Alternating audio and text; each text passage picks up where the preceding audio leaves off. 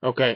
Em, hola, bienvenidos a todos los que están acá en vivo y aquellos que van a verlo en la grabación. Hoy vamos a estudiar el primer shiur eh, de tres. Si os quiero, vamos a cubrir todas las leyes en tres clases. Em, espero poder hacerlo este jueves, el próximo jueves y el próximo jueves, empezando em, así terminando el último jueves antes de Pesach. Y vamos a estudiar las leyes de Pesach. Em, y lo vamos a estudiar desde distintos libros y notas que tomé. No lo vamos a estudiar directamente del Shulchan Aruch. El Shulchan Aruch, la ley de Pesach es un tomo entero. Y obviamente eso es, necesita mucho tiempo. Y eh, también del Kitsu Shohan Aruch, que es lo que hicimos en las leyes de Purim. Las leyes de Purim son solo dos capítulos en el Kitsur Shohan Aruch, en la versión abreviada del Shulchan Aruch. Pero las leyes de Pesach son mucho más largas. Por lo tanto, eh, vamos a agarrar distintos libros y vamos a estudiar no basado en un texto, sino más como una charla. Y bueno, vamos a tratar de tocar todos los temas y siempre obviamente hay distintos casos, hay em, distintos casos y casos particulares y bueno, si alguno tiene una pregunta siempre puede hacer y intentaremos contestar. Em, solo como modo de introducción, en este shiur no es el lugar, no vamos a tratar em, de todas las connotaciones Em, las connotaciones em, espirituales o místicas de lo que viene a ser la festividad de Pesach. Hay mucho acerca de esta fiesta. Y, em, pero solo para mencionar algo, obviamente sabemos que Pesach es una de las fiestas más importantes eh, cada fiesta es importante por sí misma, pero Pesaj es cuando salimos del exilio y a partir de Pesaj es cuando nos pudimos formar como una nación. El pueblo judío no existía antes de que salimos de Egipto. Em, y por lo tanto es una fiesta muy importante. Como dice Behol Dor Vador, Adam Lirot En cada generación uno tiene la obligación de verse a sí mismo, considerarse como si él hubiese salido ahora, hoy, de Egipto. O sea, la idea de Pesaj y todo lo que nos enseña Pesaj no es solo algo del pasado, algo que pasó hace dos mil y pico de años, tres mil, ¿sí? sino que es eh, en el año 2408, sino que es algo que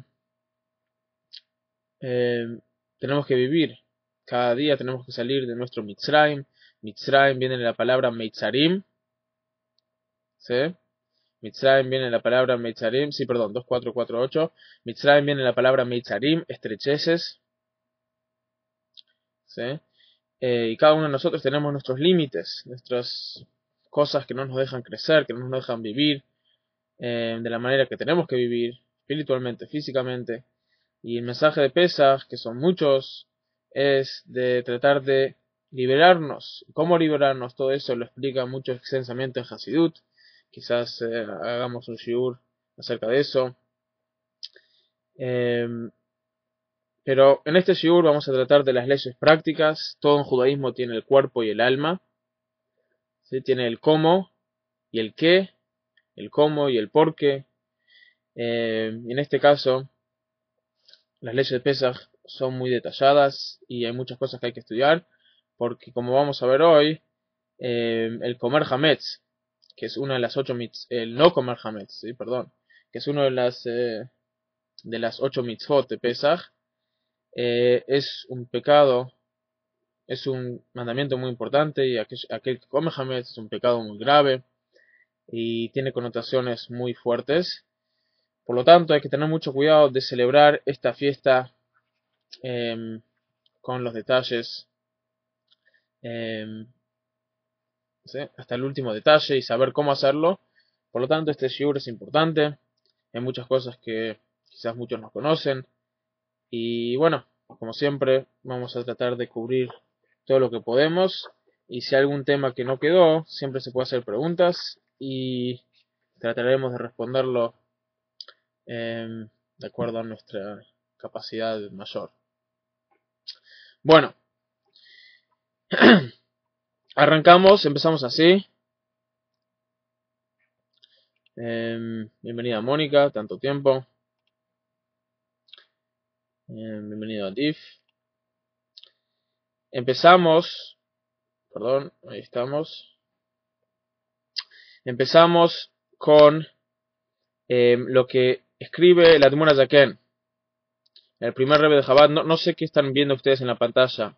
¿Pueden ver todo o ven también la cajilla y me ven a mí moviendo se ve el cuadro del chat. Y ustedes lo pueden mover también. Se puede mover el cuadro del chat para, para poder ver todo el texto o no se ve. O no lo puede mover.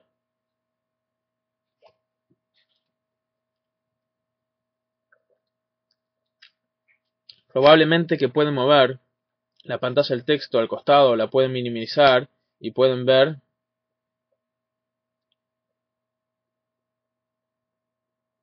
Se ve doble el cuadro del chat. Ok, a ver un segundito. Ahora se ve mejor.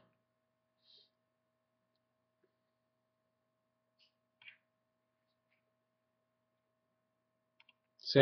Ok, entonces creo que yo tengo que bajar acá. Ok, bueno. Empezamos. Entonces vamos a empezar con lo que dice el texto que escribe la Tumura Zaken en el primer rebe de Chabad que él codificó eh, todas las leyes em, prácticas, el Shulchan Aruch, está el Shulchan Aruch grande del rabino Yosef Caro, em, gran rabino sefaradí, y después está el Shulchan Aruch del Alter Rebbe, el Shulchan Aruch del Murazaken, sí, obviamente en el medio hay muchos comentaristas, pero hay dos Shulchan Aruch eh, básicos, y en el tercer tomo del Shulchan del primer Rebbe de Chabad, que es llamado el Shulchan Aruch Rav, em, eh, escribe como introducción a las leyes de Pesach cuáles son las ocho mitzvot principales, cuáles son las ocho mitzvot, las ocho, los ocho eh, mandamientos bíblicos acerca de esta, de esta fiesta. Muchos piensan que solo hay uno, no comer hametz, en realidad hay ocho, y como introducción vamos a ver eso, después vamos a entrar en los distintos temas que escribimos en el email acerca del mes de Nisan y el Shabbat previo a Pesach y cómo se revisa para Hametz y qué es Hametz. Eso es lo que vamos a ver en el primer shiur de hoy. Dice así la de que mitzvot Pesach, las mitzvot de Pesach. Yesh bechlalan shmone mitzvot. Hay ocho mitzvot con respecto a la fiesta de Pesach. Shalosh mitzvot tres mitzvot positivas, o sea, tres mitzvot activas. Mitzvot lotase y cinco mitzvot negativas, o sea, pasivas. Tres cosas que hay que hacer y cinco cosas que no, uno no debe hacer. Mezeu Pratan, y estos son. Dice, Aleph, número uno, es la mitzvah Shelol Hametz. Está prohibido comer Hametz Biyom Yudaled en el día 14 del mes Nisan, que empieza este, el próximo martes. O sea, el Nisan empieza el próximo martes, el día 14 este año, el 14 de Nisan es el lunes 18 de abril. Está prohibido comer eh, hametz desde el mediodía en el día 14. desde el mediodía en adelante. aquellos que quieren el link, acá se los paso, así lo pueden ver mejor.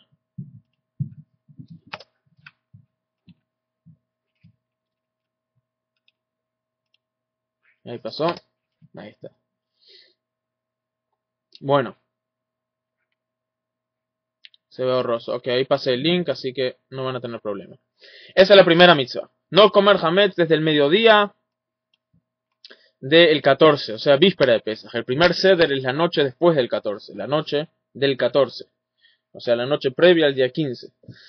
Mitzvah número 2 una mitzvah positiva, levaer hametz mina olam mala, destruir el hametz que está en la posición de uno desde el mediodía en adelante de el, eh, el día 14. Tres, Sheloy Hametz Kol Shiva, uno tiene prohibido de tener presente Hametz todos los siete días. O sea, aparte de la prohibición de comer, uno también tiene prohibido tener en su dominio eh, Hametz todos los siete días de Pesach y fuera de Israel, ocho días. Dale Sheloy Matze Hametz Kol Shiva. Perdón, Gimel es que no puede ver. Dale es que no puede tener Hametz inclusive. No solo que no puede ver, sino que tampoco no puede tener. Hey, Shelo Lechol Hametz Kol Shiva tiene prohibido eh, comer Hametz todos los siete días. ¿Sí? ¿Por qué esto es distinto que Aleph? Es otro tema. Perdón, mitzvah, la, sexta mitzvah dice, Kol Shiva Taruvot Hametz. Está prohibido también comer todos los siete días de Pesach alguna mezcla que contenga Hametz. Shieshbo Ketzait Bechde Ajilas es una mezcla que tiene el tamaño de una aceituna que se puede comer en el tiempo de eh, que se puede comer un huevo y medio. ¿Sí? Metarubot, o sea, si eh, hay una medida de tal tamaño con una mezcla, hametz mezclado en eso, está eh, prohibido.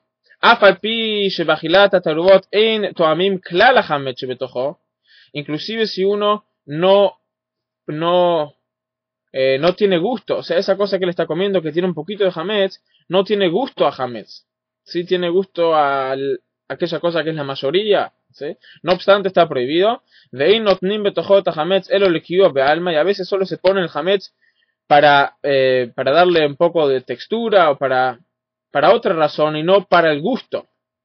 No obstante está prohibido. Que con kutaj, por ejemplo, una, un queso que se mezclaba con, con, pan, o sea, el queso mismo tenía una mezcla de, de, de, de migas de pan, Kutaja Babli, Shemefarerim Betojo Prurei Lechem Hametzi, que mezclaban migas de pan dentro de este, de este queso. Lachmitzo Sheim Bekutach Tama Lechem Elo Hamitzut Alechem. החמיץ את הכותח, שכיוצא בזה בשאר איסורין אין כאן איסורים מן התורה. ¿Sí? O sea, todas las otras leyes de eh, comidas prohibidas, por ejemplo, taref, si uno no puede probar el taref. Si algo prohibido, algo que no es kasher, por ejemplo, pedazo de, chancho, de cerdo, de jamón, se mezcló con algo kasher, si uno no puede probar el jamón, si cuando uno lo come no tiene gusto a jamón para nada, entonces no está prohibido de, orden bíblico. De orden rabínico sí, pero de orden bíblico, la Torah no prohibió comer algo que uno no puede probar. Si no lo probase, como que no está. Porque, que, que la comida por definición es algo que uno puede probar. Si no lo puedes probar, no, no, no, casi, casi que no lo comiste, como quien dice.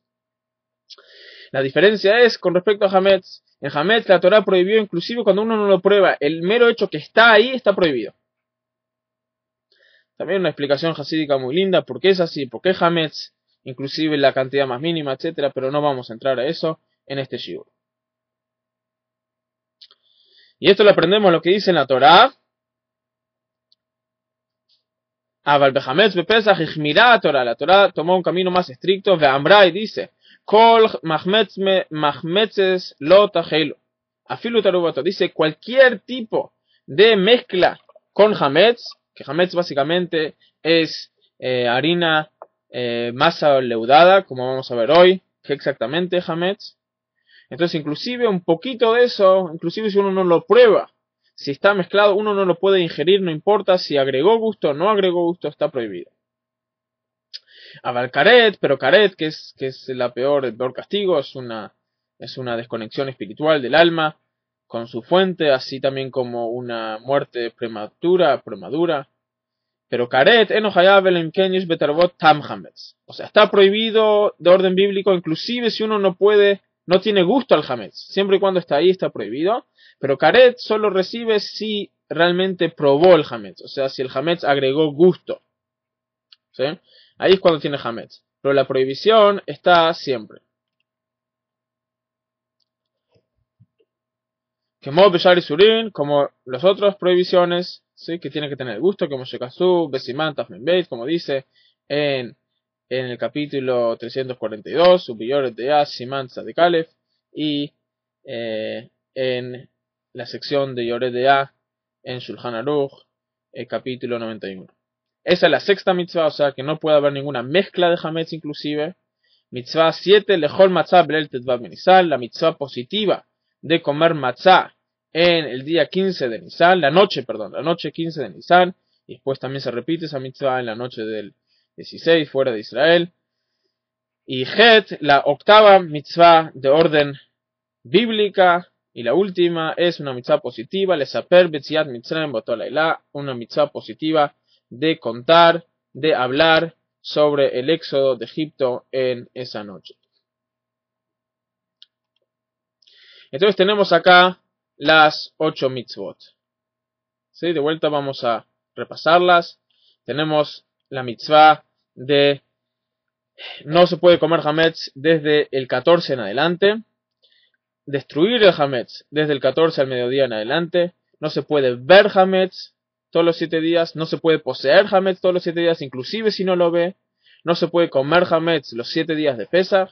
No se puede comer inclusive algo que tiene una mezcla de hametz. ¿Sí? Número 6. Número 7. Hay que comer matzah en la noche del 15. Y número 8. De contar acerca de la historia de Pesach. Esas son las mitzvot bíblicas. De vuelta, también hay mitzvot rabínicas, por ejemplo, el comer maror, que es una discusión si hoy en día es una mitzvah o no. Eh, y otras mitzvot que eh, vamos a ver, eh, vamos a ver más adelante, pero estas son las ocho bíblicas. Y ahora vamos a ver cómo se cumplen estas ocho mitzvot hasta el último detalle. ¿Se ve? ¿Se escucha? Sí, moví ya la pantalla con el texto porque ya terminamos con ese texto. Ok. Bueno. Dice así. Empezamos por estudiar eh, acerca del tema de cuándo empieza todo el tema de Pesach. Todo el tema de Pesach, dicen nuestros sabios, empieza 30 días antes de Pesach. Como sabemos, dice la Gemara, que 30 días antes de cada fiesta reunían nuestros sabios y los líderes, los rabinos durante las generaciones, reunían a, sus congregaciones y les enseñaban las leyes de esa fiesta. La fiesta que viene hay que empezar a estudiar 30 días antes.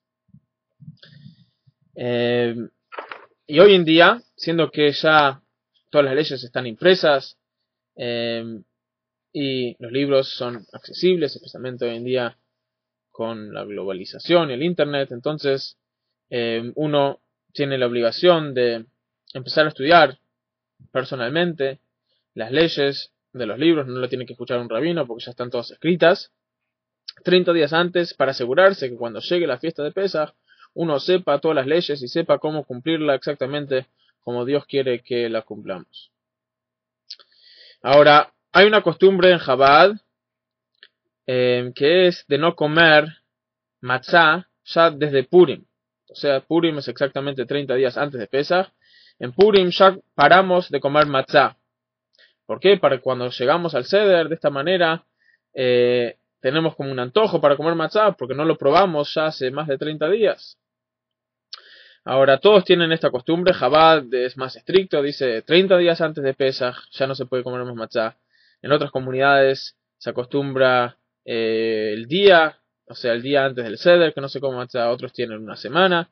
Cada uno tiene su, su costumbre, tiene que consultar con su rabino ortodoxo local competente. Pero la costumbre de la costumbre de Jabad son 30 días. Eh, ahora también desde este punto en adelante, en realidad ya desde Purim, hay que cuidarse de no comer eh, cosas de Hametz cerca de libros que se puede quedar pegado, etc. sí, también así en las prendas, no, poner cosas de Hametz, no llevar Hametz a los cuartos, y eso, bueno, eso no es una ley, pero cada uno tiene que cuidarse para que cuando llegue Pesach ya esté todo limpio y que no uno no em, llegue a encontrarse con Hametz durante el Pesach. Ahora vamos a ver acerca de eso en general, qué hay que saber antes que empiece el mes de Nisan, o sea, hay que estudiar las leyes, hay que prepararse, eh, hay que parar de comer matzah, y hay que preparar la casa, eh, empezar ya a cuidarse de que no llegue jamés a ningún lugar. Ahora vamos a ver acerca del mes de Nisan. ¿Qué es tan especial del mes de Nisan? El mes en el cual se encuentra la fiesta de Pesach y que empieza 14 días antes de Pesach. Hay cosas especiales que ya empiezan desde el primer día del mes, que este año, eh, 5771, cae el martes 5 eh, de abril. Los Jodes Nisan, que es un día, solo un día de los Jodes. Dice así. En general, el mes de Nisan es un mes alegre. Y todo el mes no se dice Tajanun, no se dice las suplicaciones, después de la tefilá, después de Shemana Esre, que se dice, y también aquello que se dice antes, en los Korbanot. ¿Por qué? Porque es un mes alegre. Los primeros 12 días de este mes fueron los 12 días en los cuales em, em, los jefes de las tribus inauguraron el tabernáculo y cada día traían un sacrificio y decían alabanzas, o sea, era un tiempo festivo y empezó de los Jodes hasta el día 12. Por lo tanto, en esos días no se dice Tajanun. Y ya desde el 14 hasta el final de Pesa tampoco se dice Tajanun, tampoco se dice las suplicaciones, porque eh, es Pesach. Entonces, siendo que la gran mayoría del mes ya está en un, en un mode festivo, por lo tanto, todo el mes no se dice Tajanun. Eh, también hay que, se agrega, después de la tefilá, se dice eh, la parsha de los Nesiim, ¿sí? Se lee detrás del Sidur. Eh, no sé cuáles Sidurim todos usan, pero está ahí. Se lee la lectura. Personalmente, cada uno dice acerca de.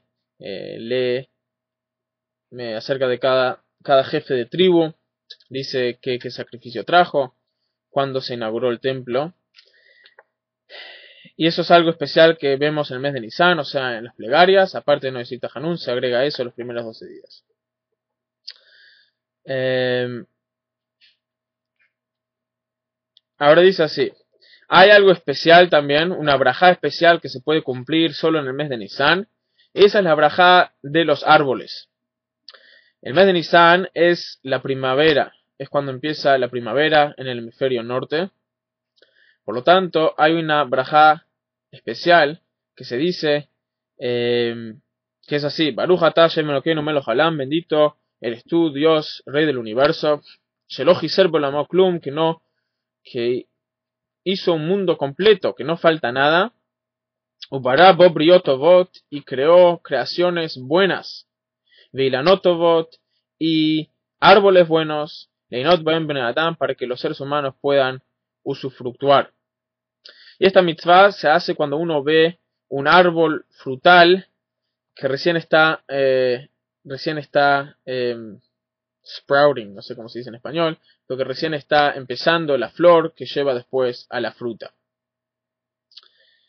Em, hay árboles especiales también para esto y no sé los nombres.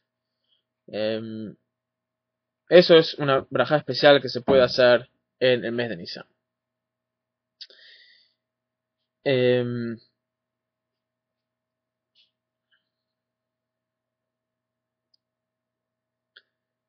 Ok, otra cosa importante, que es una costumbre de hace muchos, muchos años del pueblo judío, que eso es eh, de Pisha. O sea, se llama la harina de Pesach.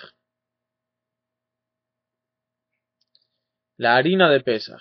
¿Qué es esto? Es una costumbre de ya desde hace siglos, que en cada comunidad se junta plata para aquellos que no pueden eh, cumplir Pesach, comprar matzá y vino como debe para celebrar la fiesta de Pesach.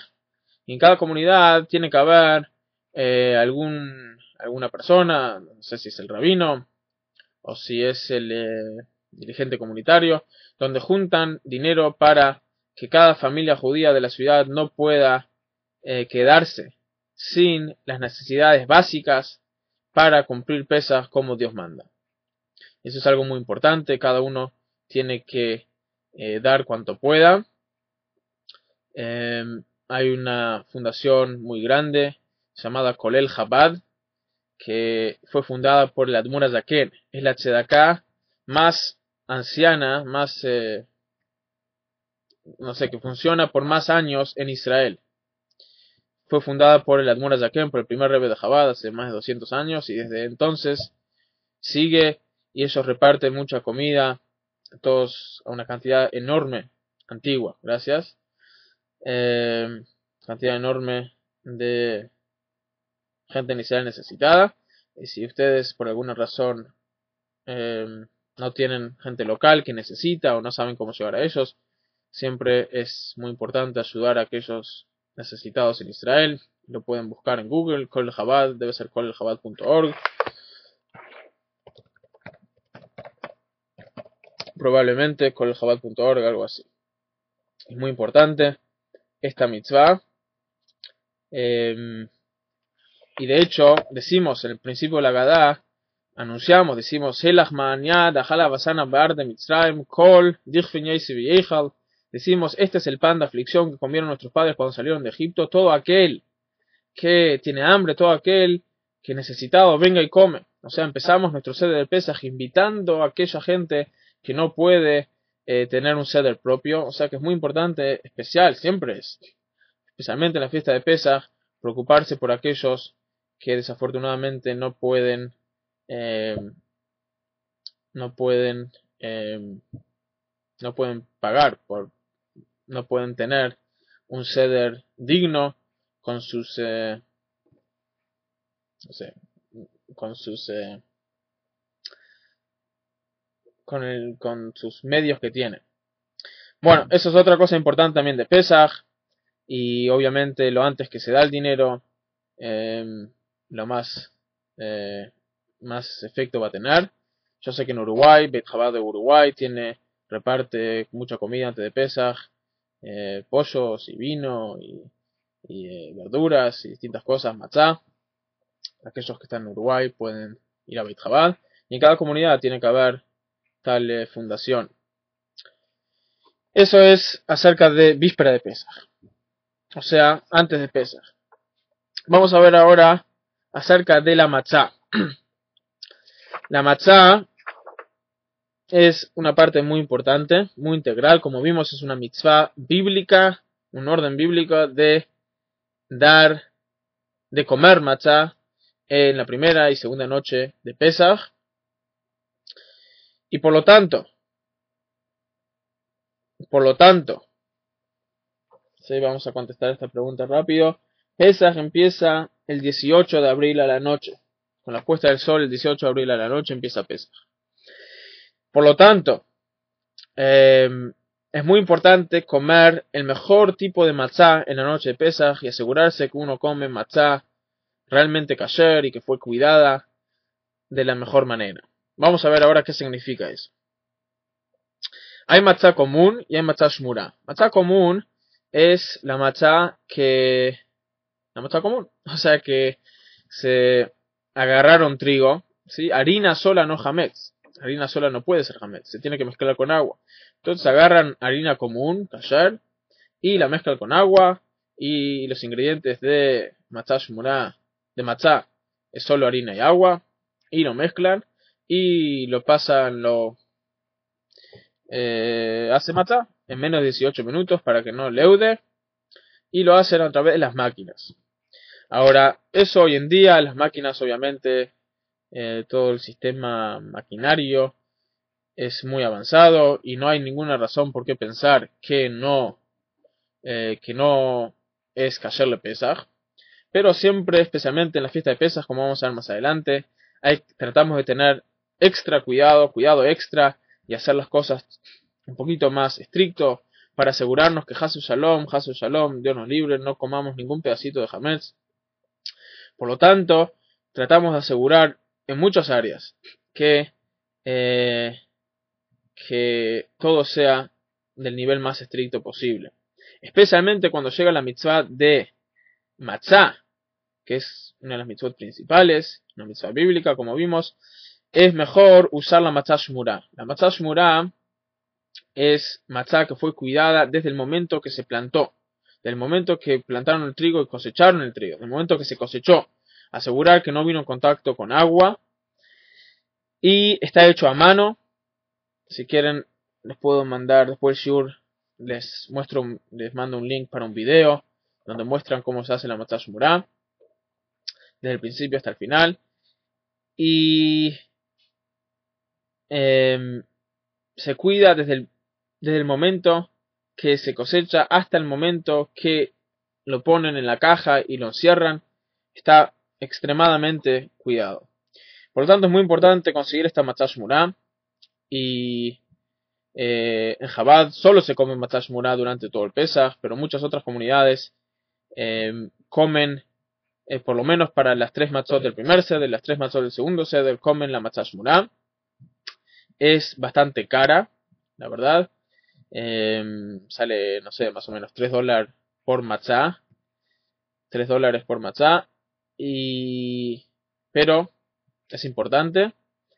Y bueno, cada uno puede conseguir su matzah shmurah en su Beit Chabad local, probablemente, o si no, les puedo mandar acá eh, de vuelta al final del shiur, hágame acordar, les puedo mandar un link donde hay distintas compañías que mandan matzah shmurah, que mandan shmurah a parte del mundo, solo la tienen que pedir, pagan y la reciben. Y de vuelta es importante esto, eh, comer shmurah. El Rebbe siempre quería que cada judío tenga por lo menos matzah eh, hecha a mano para las noches del Seder y por lo tanto Chabad siempre reparte matzot shumrot en todas partes del mundo para que los judíos puedan cumplir con esta mitzvah eh, de matzah, esta mitzvah tan importante de la manera más, más linda posible. También es una costumbre en el mundo en general, eh, o sea, no solo Jabal, de uno va a la panadería de matzah y participa en la matzah mismo. Yo fui este año, cada familia tiene su, su día y hacen la matzot y es algo muy lindo. Y eh, ¿por qué? Para poder participar de esta mitzvah tan importante. Bueno, eso es la matzah. Ahora pasamos al Shabbat previo a Pesach. El Shabbat previo a Pesach se llama Shabbat Agadol, el gran Shabbat. ¿Por qué se llama el gran Shabbat? Porque en este Shabbat pasó un milagro grande. ¿Cuál fue el milagro grande? En ese Shabbat, eh, o sea, en el año en el cual salieron de Egipto, en el año 1448 es la creación del mundo. Ese Shabbat fue el día en el cual los judíos agarraron eh, los carneros para ofrecerlos como sacrificios. Eh, y que eso era una, una deidad egipcia cuando vieron los egipcios eso, les preguntaron qué están haciendo ustedes, y ellos le dijeron que estamos haciendo esto porque mañana vamos a salir, Dios nos va a salvar y va a matar hoy de noche a todos los primogénitos egipcios. Y para que Dios salve, o sea, para que el ángel eh, eh, eh, salte sobre las casas de una oveja, no sé qué dije, qué dije. Oveja, si fue una oveja para que Dios, para que sobrevivan los primogénitos judíos, nos mandaron que faenemos a estas ovejas y pongamos la sangre sobre, eh, si fue oveja, oveja, la sangre sobre los marcos de la puerta. Y cuando escucharon eso, los egipcios empezaron a pelear. Fue una revolución interna, un poco como pasó en Egipto este año. Y